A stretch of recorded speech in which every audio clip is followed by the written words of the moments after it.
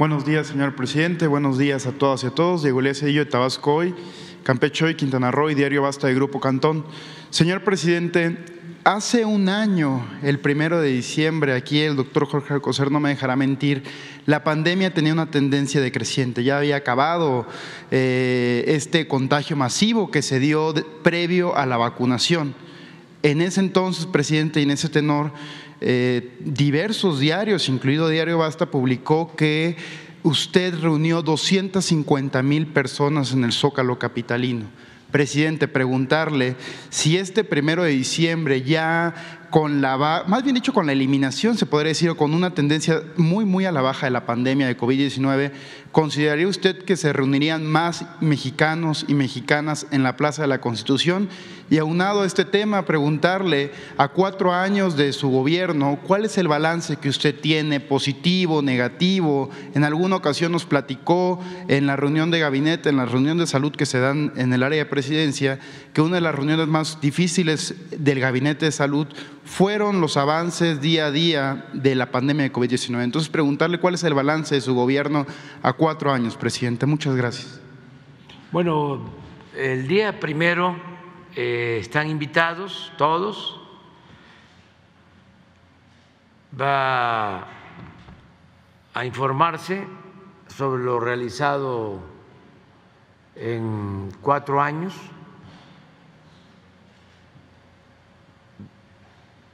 Es una reunión amplia, informativa, a las cinco de la tarde para que no nos agarre la noche.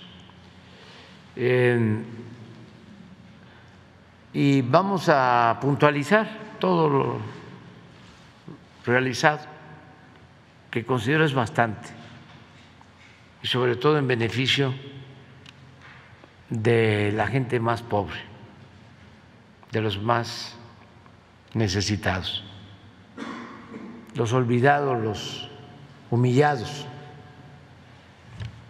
son ahora los que tienen atención prioritaria, preferente.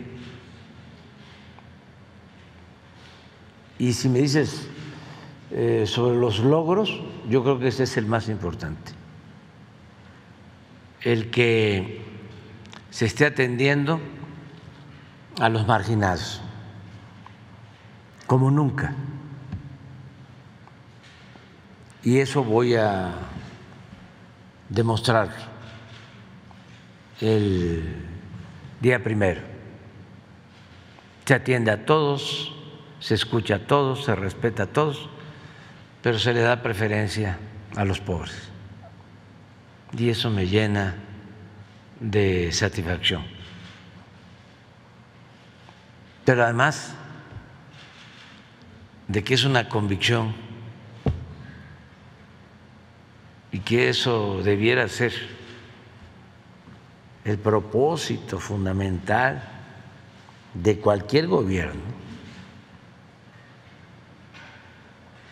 atender de manera preferente a los pobres, que eso es humanismo.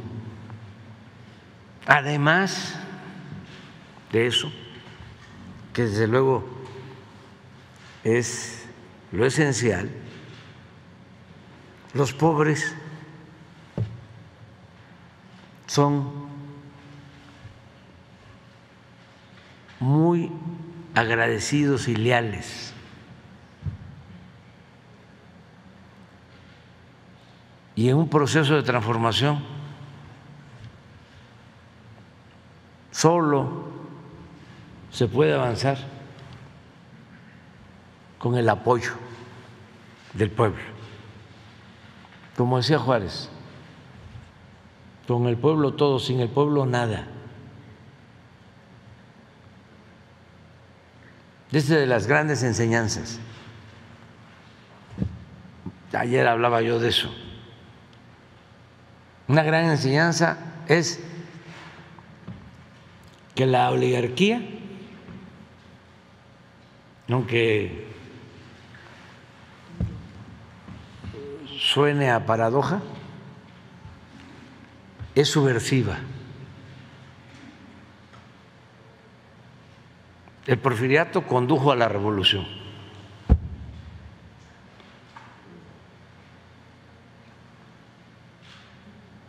La opresión, el autoritarismo,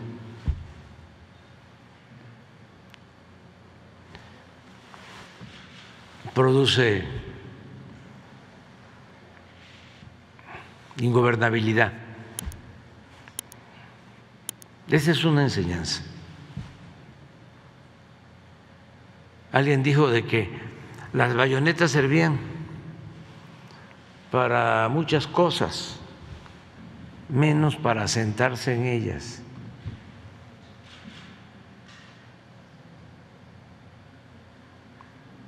O sea, no se puede gobernar oprimiendo al pueblo,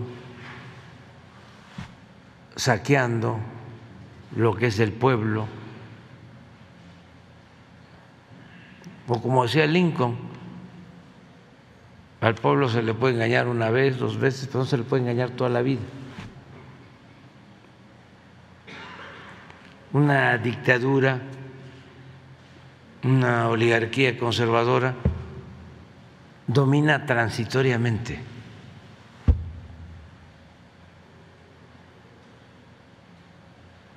Esa es una lección.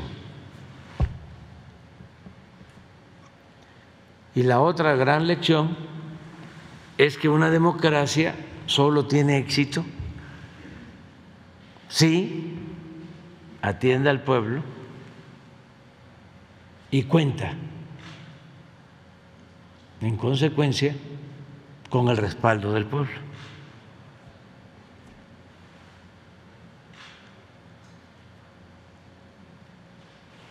Está en la historia. Lo más cercano a esto último es lo que pasó durante el gobierno del presidente Madero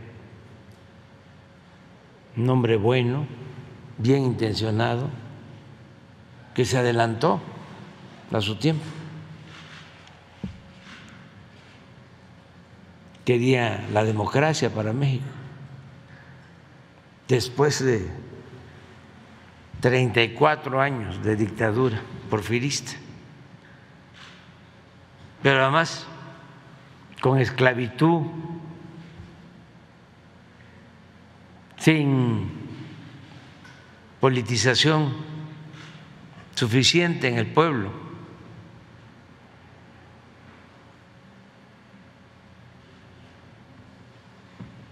Y eh, pensó que con garantizar las libertades, solo con eso, sin la justicia, podía llevar a cabo su ideal democrático. Y sí, hubo libertades amplias, pero faltó la justicia social. Y esas libertades las utilizaron sus adversarios, los antiguos porfiristas, los del antiguo régimen para organizar toda la conspiración en su contra.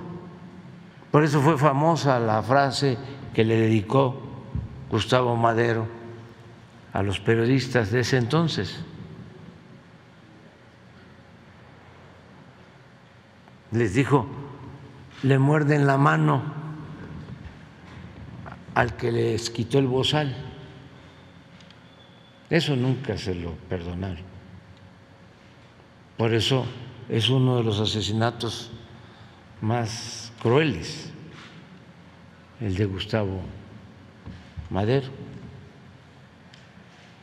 Pero el presidente Francisco Madero era un hombre bueno, bien intencionado, incapaz de reprimir a nadie. Y había libertades como nunca.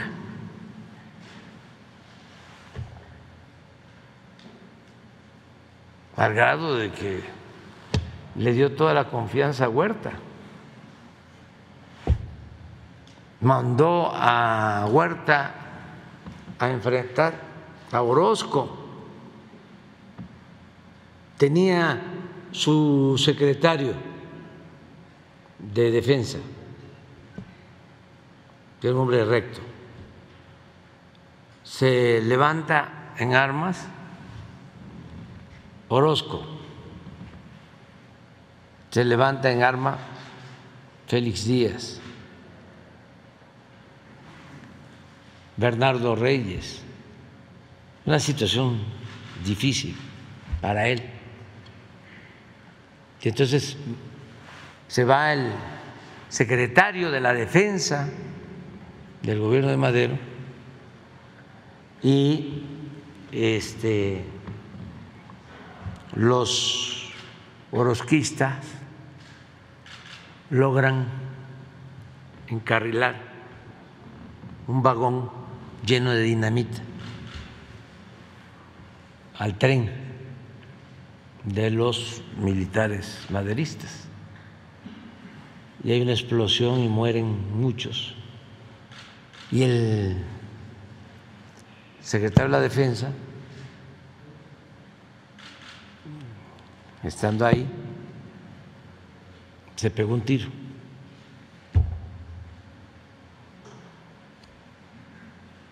por el el fracaso frente a Orozco. Y entonces, en esas circunstancias, el presidente Madero llama a Huerta para que vaya a combatir a Orozco. Y lo vence Huerta, pero desde que lo vence se empieza a hablar de que él iba a dar el golpe de Estado, porque había quedado como héroe. Todo esto aprovechado también por el embajador de Estados Unidos en México, Wilson, el peor embajador que ha habido toda la historia. Entonces fueron armando pues este la oposición en contra de un presidente legal, legítimamente constituido. Y eh, así lo asesinan. Pero cuando lo detienen aquí en Palacio, y sale al balcón a decir, me han traicionado, la gente no responde. Ya estaba solo. Y sus más cercanos colaboradores pedían que el pueblo saliera a defender al presidente, que estaba aquí preso en la Intendencia. Y era como predicar en el desierto, porque se había quedado sin la base social. Si se hubiese logrado, que no era fácil, pero era la única posibilidad de salir adelante con la transformación democrática. Era la alianza con Zapata, con los campesinos, con la fuerza social más importante en ese entonces, para respaldar al régimen y enfrentar a la reacción conservadora, con sus intelectuales orgánicos, con su prensa vendida, alquilada. Pero como no se atrevió a hacerlo o no pudo hacerlo, se quedó en el aire. Entonces la lección es que sí se va a buscar una transformación que es profunda, porque es arrancar, en nuestro caso, de raíz un régimen corrupto, y no solo es arrancar de raíz un régimen corrupto, es cambiar la mentalidad de muchos, de millones, como ha venido sucediendo, por lo que estoy muy satisfecho, que ese es otro logro, el de la revolución de las conciencias. Porque en suma, con todo lo que han hecho los oligarcas, con todo su dinero, con todo su poder, con todos sus voceros, con todos sus intelectuales orgánicos, alcahuetes, no han podido, ni podrán, porque la mayoría del pueblo nos apoya, pero nos apoya porque nosotros apoyamos al pueblo. Y por eso es que digo, amor con amor se paga. Es recíproco.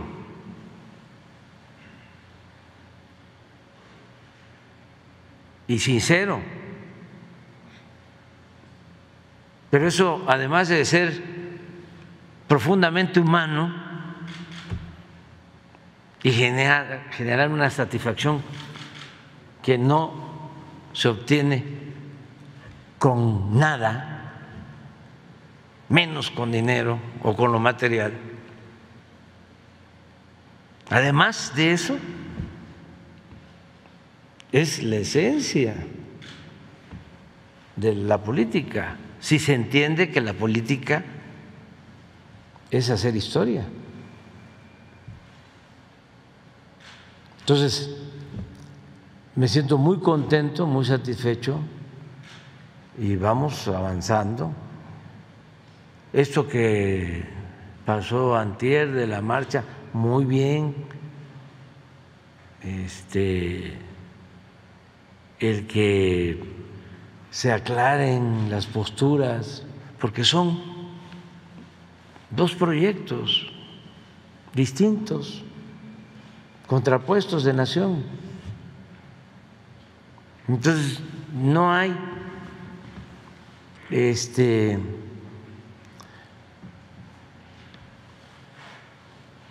espacio para la simulación. Y eso me da mucho gusto. Imagínense que marchen juntos Madrazo y el Vester, y Fox y Chong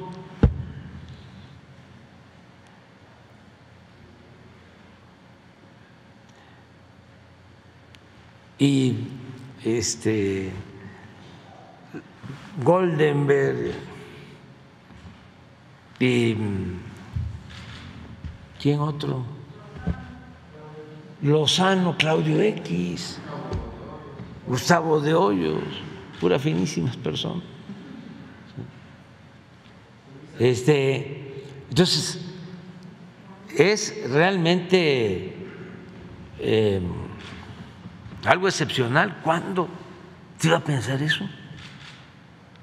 ¿Quiénes marchaban en México?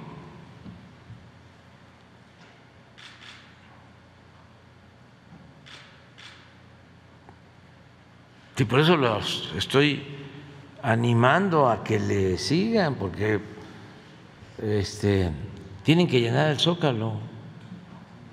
Ayer dije que apenas equivalía su marcha a la mitad del zócalo. Yo creo que me excedí.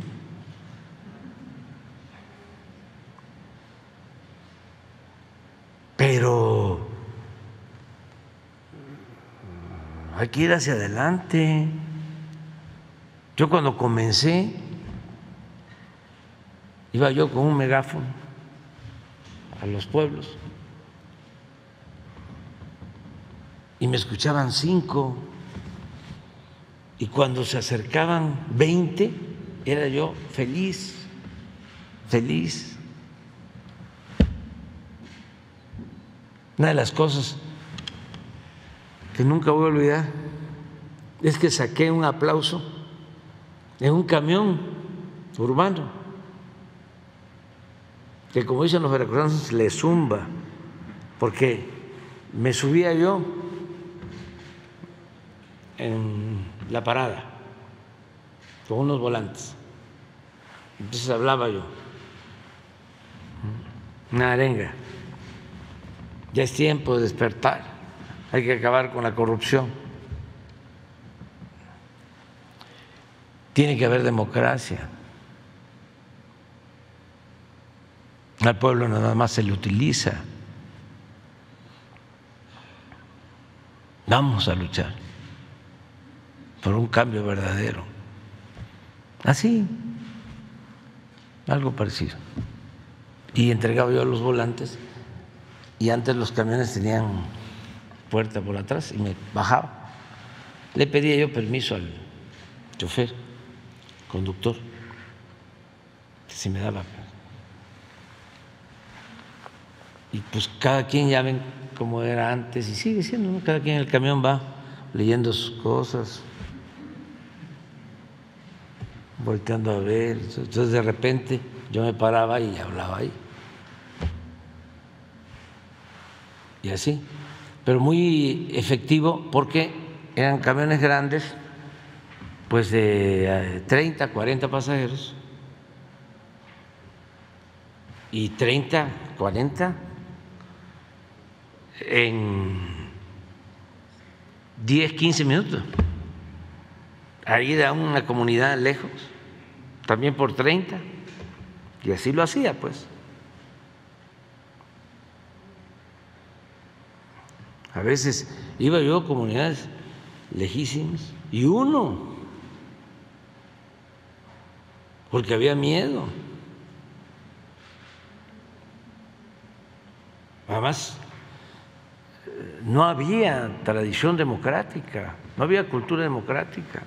Se pensaba incluso que era ilegal ser opositor. No se movía ni una hoja del árbol de la política. Se corría el riesgo de que fuese uno linchado. A veces le pedía yo a un señor, ya falleció, Jesús Sevilla Zurita, en un programa de radio. Y lo único que le pedía, porque era periodista, este, pero un hombre de bien,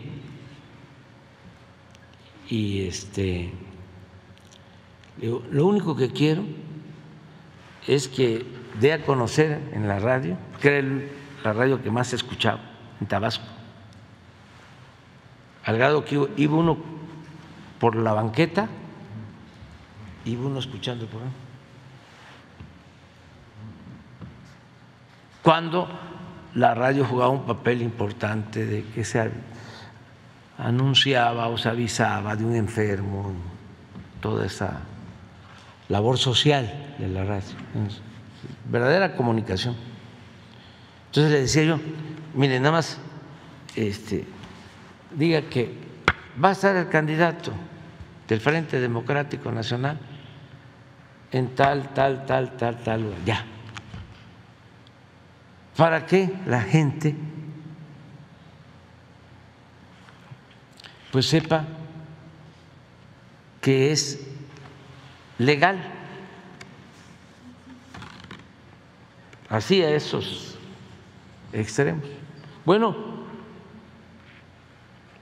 pero luego lo de los camiones estaba mejor porque en tres horas, cuatro horas, 400, 500 personas. Y solo era nada más subirse hablar, repartir el volante y bajar. Y un día, una sola vez, ¿eh? no que crean, terminé de hablar y un aplauso de todos los que iban en el camión. Eso le zumba. Porque para lograr que gente que piensa distinto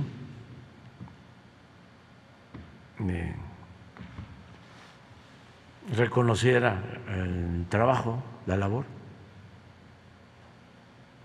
que seguramente ni votaron por mí, ni iban a votar por mí, ni simpatizaban, pero este, por solidaridad, como es nuestro pueblo, muy solidario, muy fraterno. Ya después sí, otros aplausos. Y muchos insultos, pero ya después en eh, las campañas de 2006, pero sobre todo ya eh, últimamente, en el 18, una vez salí del aeropuerto de Tampico y estaban ahí pasajeros esperando a sus familiares y todo, y salí y me vieron de aplauso, pero ya estamos hablando de estos tiempos. Entonces, es muy satisfactorio el eh, luchar por un cambio y ver frutos, resultados. ¿Cómo no voy a estar satisfecho si se van a destinar el año próximo 850 mil millones de pesos para los programas de bienestar?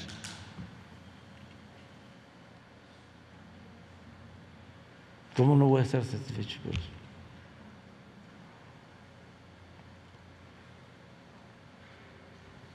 Si la inversión pública en los cuatro años, la inversión pública ha crecido más del 50%. Pero no solo es que la inversión pública haya crecido el 50%. Es que creció el 50% en términos cuantitativos, pero imagínense cuánto ha rendido, porque no hay la corrupción que había antes. ¿Cuánto rinde ese incremento? Se hacen dos, tres veces más o sea, no solo es que hay un incremento del 50%, sino que como ya no se roban el dinero o no cobran una obra que vale 100 millones en 300, Por eso dicen de dónde sale tanto dinero y la verdad, estamos terminando el año y debemos de tener en caja pues como un billón. Claro, vienen los pagos de aguinaldo, de sueldos y todo, pero no hemos dejado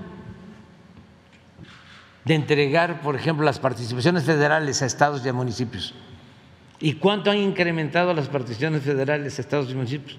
Pues también como el 40, 50%. Y puntual se les ha entregado el dinero a todos los gobiernos estatales y municipales.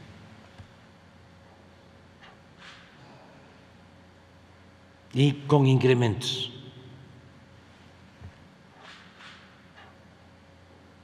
Claro, si les muestro, a ver, la recaudación de ayer o cómo andamos hasta ayer en recaudación.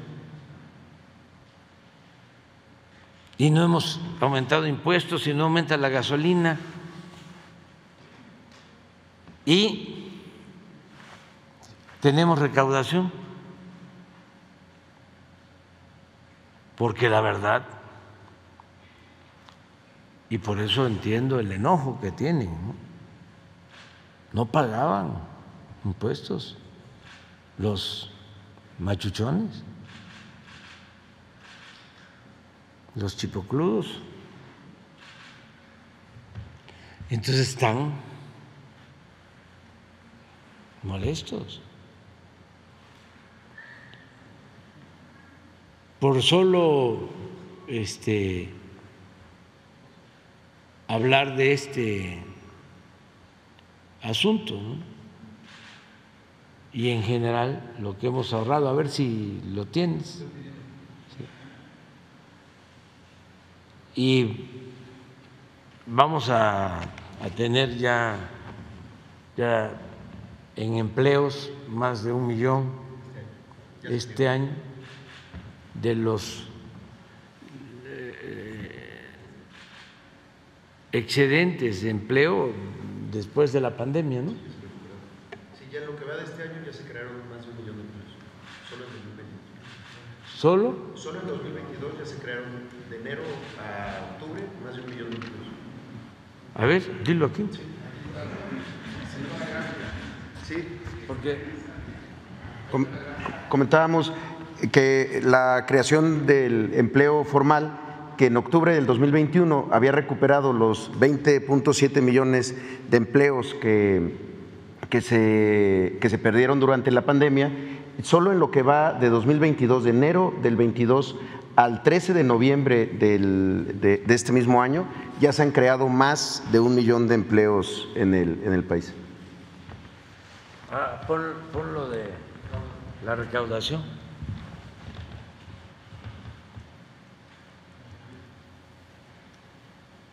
Este es de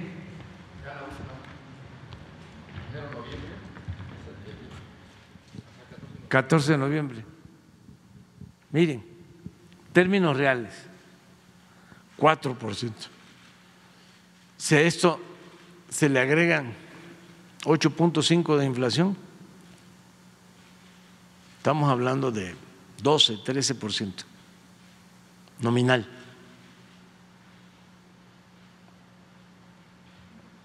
El año pasado, en este periodo, llevábamos 3 billones 625 mil recaudados. Y en este periodo, 4 billones 68 mil. Casi 400 mil millones más.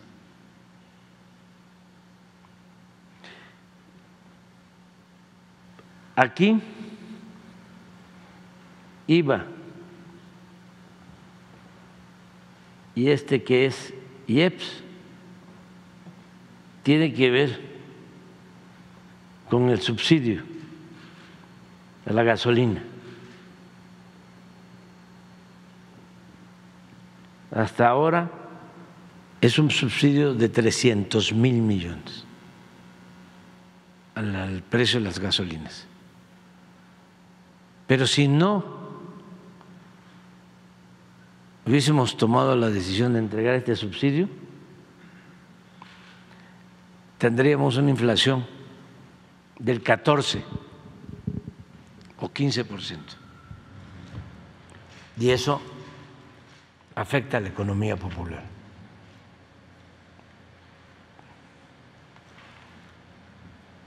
Pero miren el impuesto sobre la renta, que este es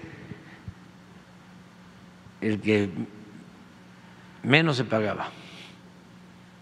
14% en términos reales.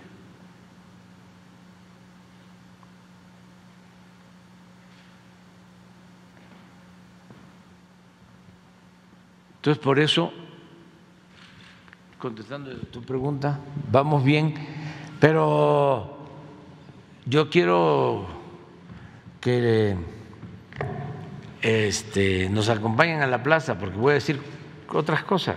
¿Habrá Zócalo lleno el primero de diciembre?